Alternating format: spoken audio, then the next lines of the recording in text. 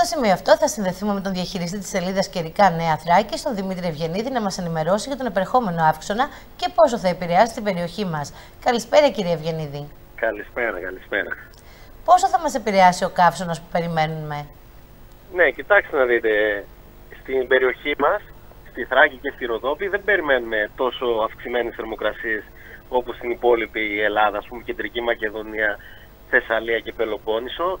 Ευτυχώς είμαστε ευλογημένος τόπος, όπως λέμε και στην ομάδα, και δύσκολα βλέπουμε πολύ υψηλές θερμοκρασίες, δηλαδή κοντά στο 40.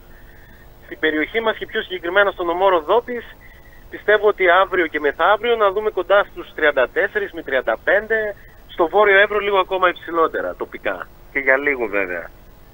Βροχές θα έχουμε εκτός από σήμερα, νομίζω. Δώστε Ναι, μια πρόβλεψη αυτό- για σήμερα.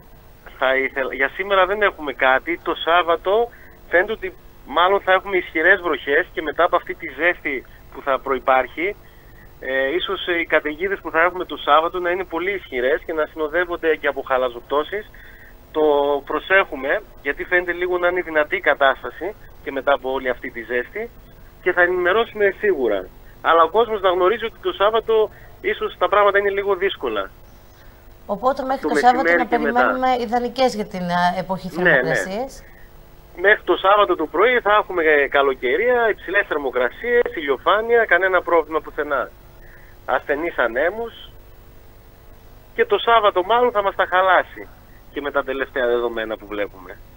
Μάλιστα. Οπότε από Δευτέρα θα σα έχουμε κοντά μας για ό,τι νεότερο. Εννοείται, εννοείται. εννοείται. Ευχαριστούμε πολύ. Να είστε καλά, γεια Καλό σας. σου βράδυ.